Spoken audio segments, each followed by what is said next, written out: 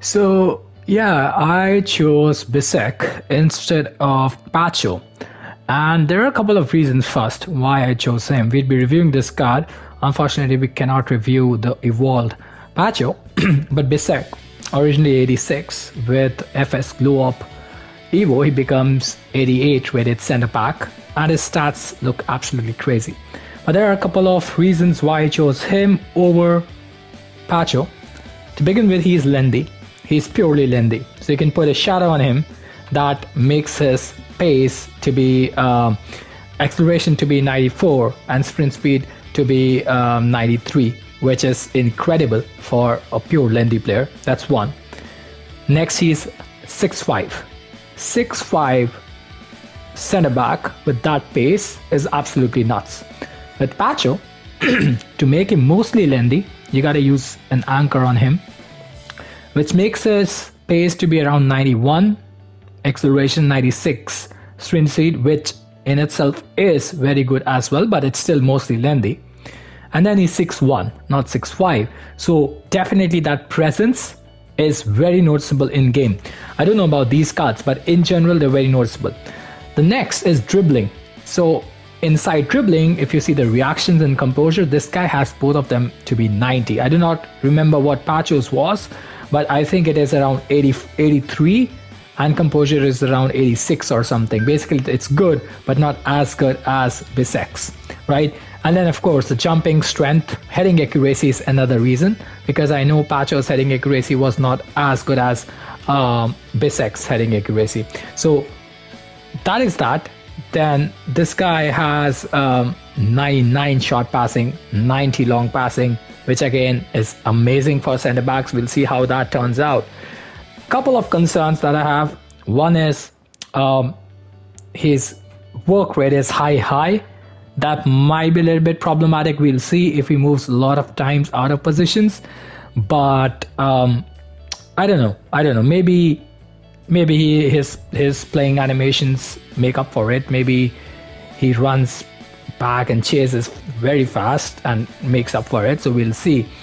But when you talk about play styles, uh, you know, there's nothing. There's there's not like a play style that is you know very helpful in terms of defending uh, because this guy just has block play style in terms of defending. I know for sure that Pacho has intercept, but then again, none of them have anticipate, which makes which basically was another reason I took Bisseck, right? Um, pass uh, is definitely a pace play style plus. So again, uh, if you if you do crossfield balls, through balls over the head, that might be very helpful. And he also has long bar, long ball pass along with that. So definitely we're going to try him even with a three star weak foot. I think that should come out really well. And then he's aerial plus and six five height. So definitely this would be very helpful. Maybe in corners we do not as you know i, I do not score a lot from corners but at least to the others um, but in terms of pure defending he might be uh, using this and be it, this might prove to be very helpful so with that let's get into the game uh, let's review his card. Let's see how 88 Bisseck's perform in game. Again, we'll also be comparing him with the likes of Maldini, of course. Uh, I was using Geertruida initially at center back, then I turned him to be at CDM, but Geertruida uh, was amazing as well. So we'll see how it performs. Uh, currently, my center back was Saliba. Uh, and Saliba, you know, this Evo Saliba too, he was fantastic because of playstyles he had. Uh, you know, Jockey Plus, intercept and anticipate um, and you know very high pace as well he was pure lengthy too uh, you know uh, 80 probably 88 acceleration with that with very high sprint speed and you know good strengths jumping but again if you look at um, um, Bisseck's stats it's it's absolutely out of the world they're just too good to be true right so let's see how he performs in game Yeah, for a center back, his dribbling looks pretty good.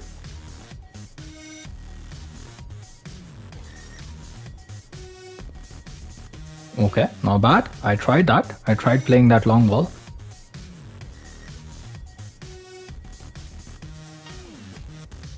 No way. Couldn't win that header with 99 heading uh, accuracy and uh, I guess 99 jumping too. That's a letdown right there.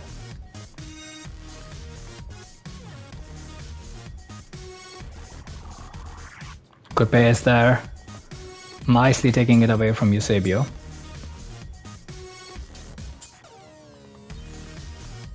Beautiful tackle again, man. It's Good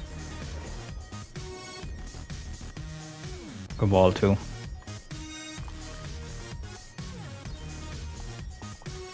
Bisseck, good goal. I try using the corner this time. Very good height, 99 heading, 99 jumping. Produced a good goal for us. What a ball. Bisseck. Beautiful cross ball.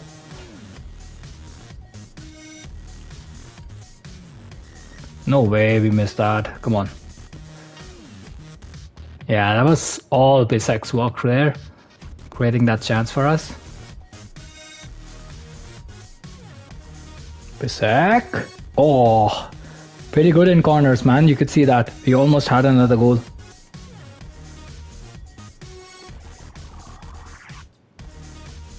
Nicely done, Bisseck. Right, I do not I'm not finding an option there. Hey, we're dribbling there. Okay. Uh yep, gets us a corner.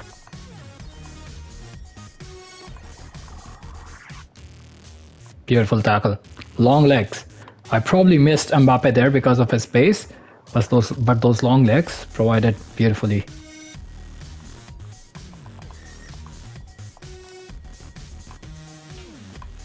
Nice. Got the interception there.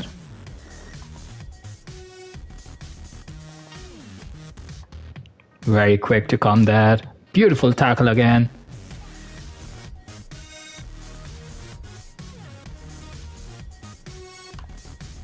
Yeah, not of like his dribbling is good for a center back, but yeah, you cannot kind of like keep dribbling from him, right? And kind of go forward. That's not what he'll be able to do. Sick! Oh, hits the post again. This guy's pretty good in the air, man. That aerial ability, uh, aerial playstyle came into uh, play again there. One thing I have noted is his jockeying. His jockeying is sometimes a little bit troubling, to be frank.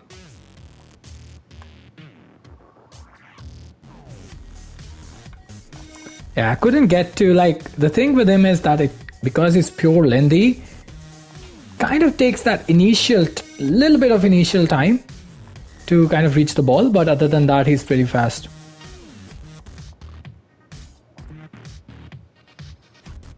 Nice, nice pace, man. Easily blocking the path in front of him. Ah, oh, could have been the tackle there.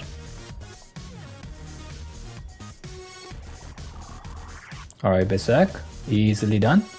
Very nice. Yeah, I mean, if he is in front of you, like in front of the attacker, there's no way getting the ball from him. Nice inception there, but he lost the ball. Okay, that was a foul. Good inception though. Right, Bisseck. Again, very dominant in the air, man.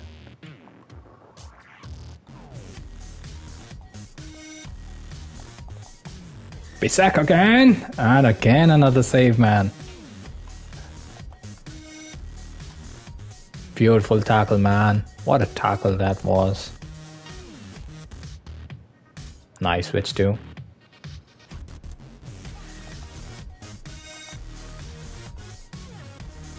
Nice, Bisseck. Stopping Mbappe there, man. What a guy. Yeah, very strong in tackle. Couldn't retain the ball there, unfortunate. But again, uh, good positioning, good tackling.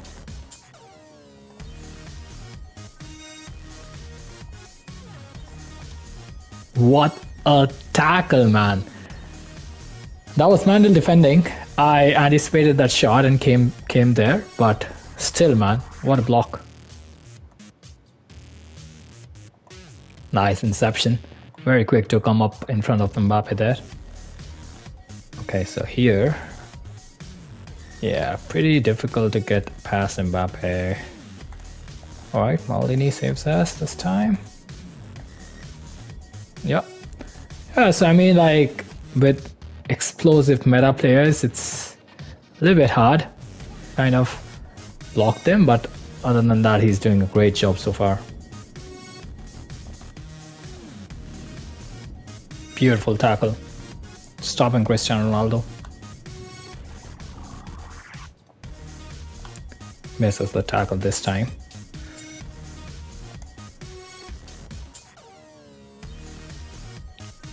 Nothing there. I thought he'd block it, but uh, couldn't get to it.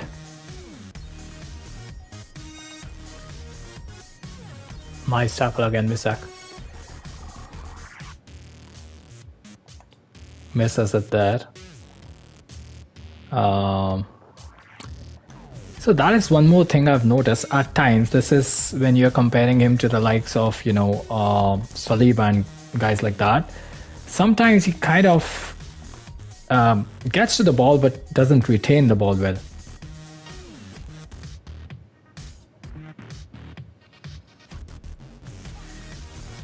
So pace there, definitely pretty good, but definitely not able to catch him. What a tackle that was, man. Nice chase back. Beautiful tackle again. Uh, okay, he got the ball, but... Yes, I mean, he has 99 strength, but somehow, you know, when, for example, Maldini gets the ball, it's it's very clear how he, you know, his strength comes into play, right? But for some reason with Bisseck I'm not able to see that. So you see how Saliba kind of covers that gap and immediately tackles? I don't know if that's because of the anticipate or you know I don't know. But that is definitely noticeable when it comes to uh, you know um,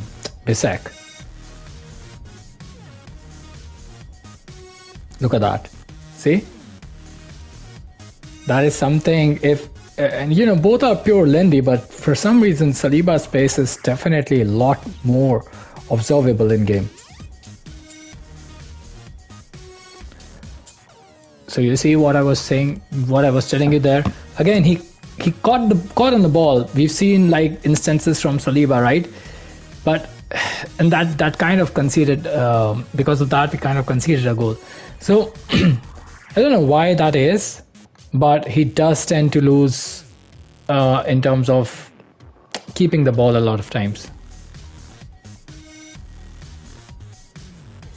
Nice pace, but again, in you know, in terms of positioning like these, anticipate really comes in handy because you see how Saliba covers those gaps.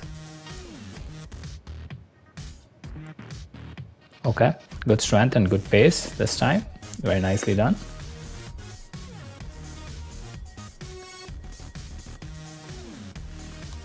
What a tackle, man. And he keeps it in too. Okay.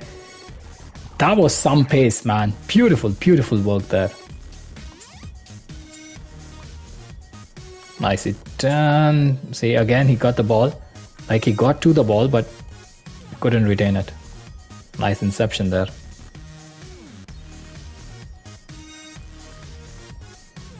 Beautiful tackle. See again, kind of tackles. I don't know why he some somehow he just kind of like doesn't retain the ball. I mean, this was more of a tackle, but uh, it was, I guess, difficult to keep the ball. But yeah, so this match definitely I felt because he played really well, one of the highest ratings in the game, because he won a lot of tackles in this match. Alright guys, so final verdict on Bisseck evolved card. Guys, he's really really good. Okay, don't get me wrong here. He's probably one of the be- uh, you know one of the very good defenders I played with. Uh, his presence is definitely there. But when you compare him to the likes of defenders who have very good play styles, like you know Varane or um, Saliba, or in fact Van Dijk too, he kind of falls short. I won't say he's better than them. he probably is somewhere on their level, but just a little bit down is what I feel. The thing with him is he's very strong, he's very fast when it comes to longer runs, but when I play with Saliba or Maldini and I, you know I'm very close to the defender and and I have to get the ball immediately, that tackling time he he has a little bit of time lag in that. One is that. Second is yes, positioning at times I felt like he kind of moves forward a little bit. That might be because of the high high, but that was not much of a concern with me. The biggest thing that I felt was a little bit problematic with him was like I caught the ball a lot of times, but he did not retain it. Sometimes he did not retain it, and then kind of uh, you know uh, converted that to a opponent's counter attack, and we conceded. These are the two things that I felt short. Right, one is slight positioning, second is uh, you know immediate tackling and not re- retaining the ball.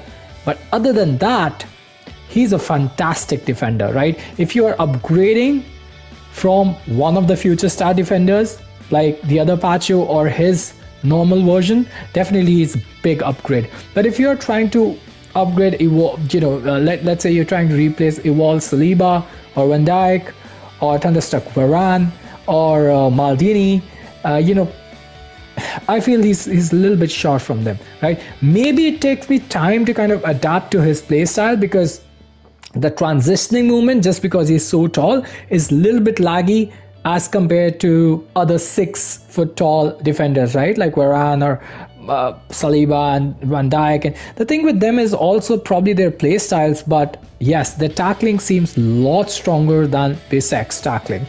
I think because of his strength and physical presence, Bisseck has, uh, you know, he, he defends really, really well.